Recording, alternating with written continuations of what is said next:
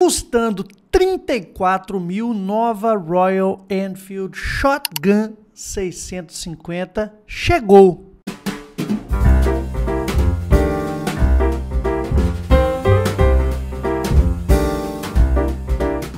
As Américas, americano. Chegou as Américas, meu filho. É óbvio que não chegou aqui no Brasil, né, cara? Chegou lá nos Estados Unidos e no Canadá está no site da Royal, é oficial, tem preço, tem regra de três. Vamos dar uma analisada nessa história toda, porque enquanto esperamos aqui ansiosamente a chegada dessas duas motos, né? Porque estamos esperando não só ela, a Shotgun 650, mas também a famigerada, esperada, desejada, usurpada o Super Meteor 650. Será que vem em agosto?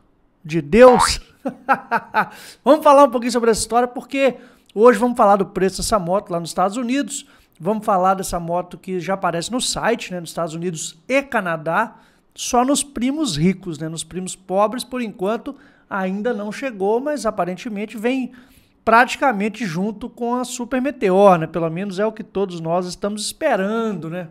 Vai saber quanto tempo demora a Super Meteor ainda. É, mas eu quero trazer essa, essa notícia aqui porque saiu em algumas revistas internacionais, então quero mostrar para você.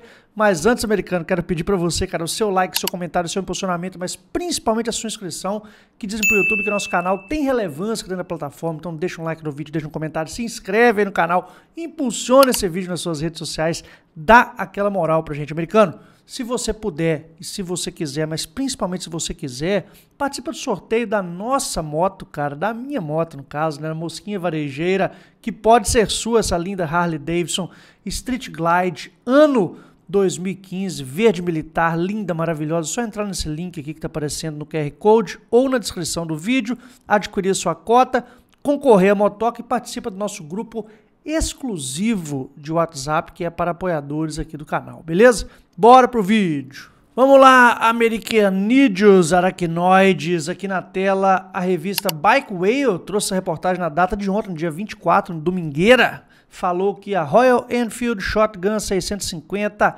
é lançada na América do Norte. Shotgun, que é uma moto que foi apresentada pela primeira vez lá no Salão de Milão em 2020, 2021, se não me falha a memória, ou 2020, acho que foi 21, e que nós todos esperávamos que ela fosse, né, que ela seria lançada antes da Super Meteor, mas a Royal não fez assim não. Primeiro lançou a Super Meteor, né, e agora de um tempo para cá, né, desde o início desse ano, apresentou a Shotgun lá nos Estados Unidos, mas não lançou ainda, está lançando agora e lançou na Índia, né? Então ela está rolando já na Índia, está rolando na Europa, está rolando agora oficialmente em Estados Unidos e Canadá e nós esperamos ansiosamente que essa moto venha aqui para o Brasil muito em breve. Que moto é essa? É a moto irmã mais nova da Super Meteor 650, que por sua vez é a irmã mais nova das já conhecida por nós Interceptor 650 e é, Continental GT 650, que trazem esse motor twin de dois cilindros paralelos, 47 cavalos de potência, um motor que já é consagrado aqui no Brasil, inclusive já deu os problemas que tinha que dar, já foi arrumado. Agora não sei se vai aguentar gasolina com 35% de álcool, né? Será que vai dar BO nisso aí? Isso aí, meu filho, só o futuro dirá. Americano, preço dessa motoca lá nos Estados Unidos, bem pertinho da Super Meteor, tá? É posição da empresa colocar essas motos muito próximas no preço e um pouquinho acima da Interceptor 650, tá? Então a, a ordem é Interceptor custando menos, Shotgun no meio e Super Meteor custando um pouco mais. Será que esta regra que tem se repetido no mundo vai se repetir aqui no Brasil? Também estamos curiosos aí, doidos para saber se será assim mesmo. Vamos lá. Nos Estados Unidos, a Shotgun saiu por a versão mais básica, ela tem três, três ou quatro versões. A mais básica saiu por 6.899 dólares. Lembrando que a Meteor 650, lá nos Estados Unidos, a versão mais básica também, custa é, 6.999 dólares. É só 100 dólares de diferença da Shotgun para Super Meteor. Se nós convertermos esse valor para real hoje, ah, é só falar para vocês que Interceptor lá custa quase o mesmo preço também, 6.849. Então, de novo, Interceptor 6.849, Shotgun 6.899 e Super Meteor 6.999. Convertendo para real na cotação de hoje, R$ 5,500 na paulada, o dólar fica aí 34,245 a Interceptor, 34,495 a Shotgun e 34,995 a Super Meteor, 34 mil, né, no caso. Só que tem um detalhe pequeno que eles não contam para você no site da Roy lá dos Estados Unidos, que é tudo que você compra nos Estados Unidos, você paga o tax, né, o, o, o a taxa, né, o imposto, né, o imposto de venda depois. Então, quando você vai lá passar o cartão para pagar a moto, isso aí, meu filho, vai aumentar de preço numa casa que você não vai querer nem saber, que eles chamam out, outside the door, out the door, out the door, acho que eles chamam a expressão para quando você retira a moto da concessionária. Inclusive eu já gravei até vídeo aqui no canal mostrando que esse preço que eles apresentam não é o preço, é muito mais.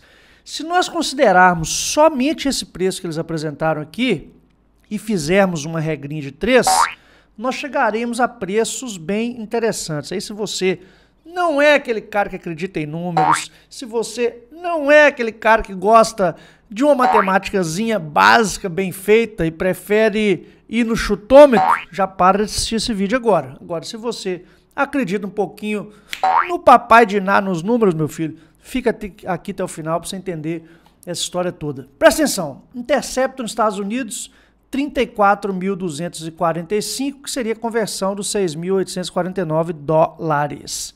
No Brasil, se você entrar agora no site da Royal Enfield, a mais básica, com roda de raiada, tá? Não é com roda de liga leve. Custa 29.900, tá? Ou é com roda de liga leve? Não, é com roda raiada. 29.900 é a mais básica. É exatamente R$ 4.345 a menos aqui no Brasil do que é lá nos Estados Unidos. Você fala assim, ah, americano, mas aqui no Brasil tem frete. Lá também tem. ah, americano, mas aqui no Brasil ela custa mais fora da concessionária. Lá também. E é mais do que aqui. Bem mais. Já mostrei isso num vídeo anterior. Não estou lembrando qual vídeo que é. Vou deixar no card aqui para você assistir, se você quiser e se você puder. Beleza? Esses 4.345 significa 12,68% a menos aqui no Brasil.